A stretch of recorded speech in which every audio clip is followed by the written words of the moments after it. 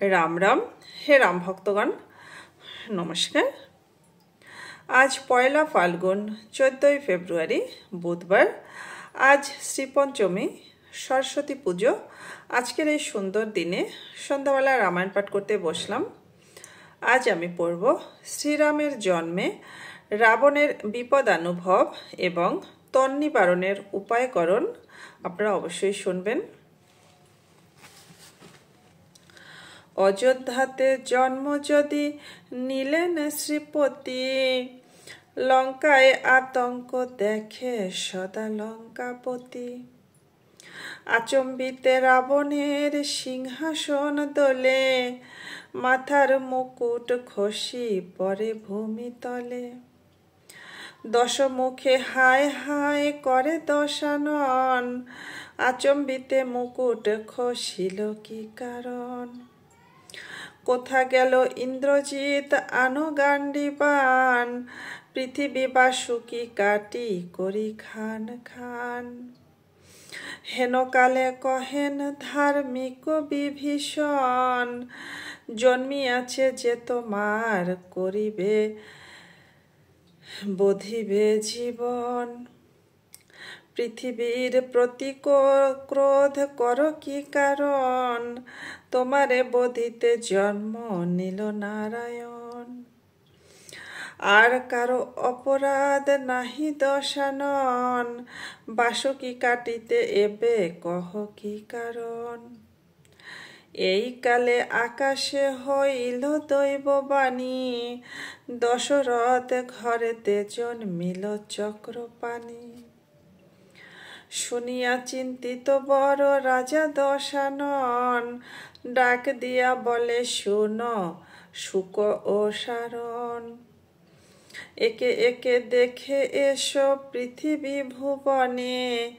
আমার শত্রুর জন্ম হইল কোনখানে? এখনই মারিব তারে অতি শিশুকাল। প্রবল হইলে সেই বাড়িবে জঞ্জাল। রাবণের আজ্ঞাচর বন্দিলেক মাথে সমুদ্রের পার হইয়া লাগিল ভাবিতে। পরম বৈষ্ণব দূত শুক ও সারণ, বাসবের দাড়ি তারা জানে ত্রিভুবন। শুক বলে শুনো মোর ভাই রে সারণ, অযোধ্যায় বুঝি জন্মিলেন নারায়ণ। আজি শুভ দিন হইল আমা দোহাকার ভাগ্য ফলে দেখি গিয়া চরণ তাহার।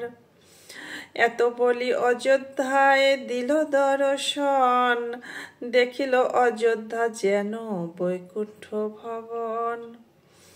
রতন প্রদীপ জলে প্রতি ঘরে ঘরে,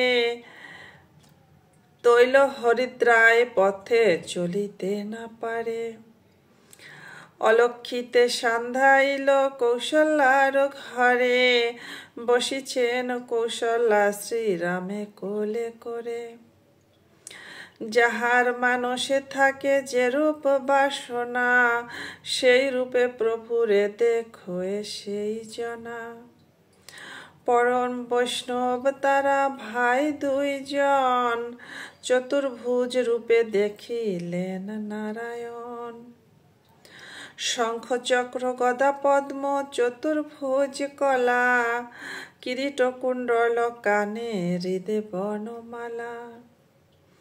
শতকোটি ব্রহ্মা তারে করিছে স্তবন, প্রভুর শরীরে দেখে এতিন ভুবন প্রসঙ্গেতে দেখিল যে সর্বপরিষদ, সনক সনাতন আদি প্রহ্লাদ নারদ। এই রূপে দুই ভাই প্রভুরে দেখিয়া সহস্র প্রণাম করে ভূমে লোটাইয়া। ভক্তিভাবে করয়ে অনেক প্রণিপাত, স্তবন করিছে তারা করি জোর হাত রাক্ষসের জাতি মোরা বড়ই অধম তোমার মহিমা জ্ঞানে আমরা অক্ষম। যে পদ ব্রহ্মাধিদেব নাহি পায় ধ্যানে, হেন পাদ পদ্ম দেখি প্রত্যক্ষ প্রমাণে। এই নিবেদন করি শুনো মহাশয়, তব পাদ্ম পদে, তব পাদ পদ্মে যেন সদা মনোরয়। কৃপার সাগর প্রভু, তুমি গুণধাম। এত বলি গেল তারা করিয়া প্রণাম। পথে যেতে দুই ভাই ভাবিলেক মনে একথা কহিব না সে পাপি দশাননে। চক্ষুর নিমিষে তারা লঙ্কাপুরে গিয়া, রাবণের কহে কথা, আগে দাঁড়াইয়া। একে একে দেখিলাম এতিন ভুবনে। তোমার কি শত্রু আছে নাহি লয় মনে? মুকুট খসিল রাজা, হবে অপমান। সকল তীর্থের জলে তুমি কর স্নান। সুবর্ণ করহ দান, দিন দ্বিজ নরে অমঙ্গল ঘুচিবে, আপদ যাবে দূরে। দশমুখ মেলিয়া রাবণ রাজা হাসে, কেতকী কুসুম যেন ফুটে ভাদ্র মাসে। না বুঝিয়া কথা কহ, ভাই বিভীষণ, আমার কি শত্রু আছে হেন লয় মন। রাবণের কথা শুনি বলে বিভীষণ, পরিণামে এই কথা করিবে স্মরণ রাবণ সমুদ্র বলি লাগিল ডাকিতে, আসিয়া সমুদ্র দাঁড়াইল জোর হাতে। রাজা বলে, পৃথিবীতে যত তীর্থ আছে, সকল তীর্থের জল আনো মোর কাছে। বাক্যমাত্র বলিতে বিলম্ব না হইল, সকল তীর্থের জল সম্মুখে আইল। তীর্থ জলে দশানন করিলেন স্নান। দরিদ্র দুঃখীকে রাজা করে স্বর্ণদান।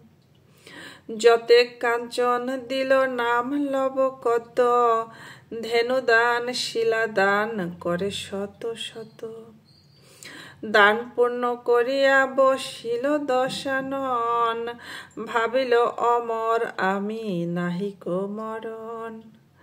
কৃত্তিবাস পণ্ডিতের শ্লোক বিচক্ষণ। রামের প্রীতিতে হরি বল সর্বজন। হরি বল।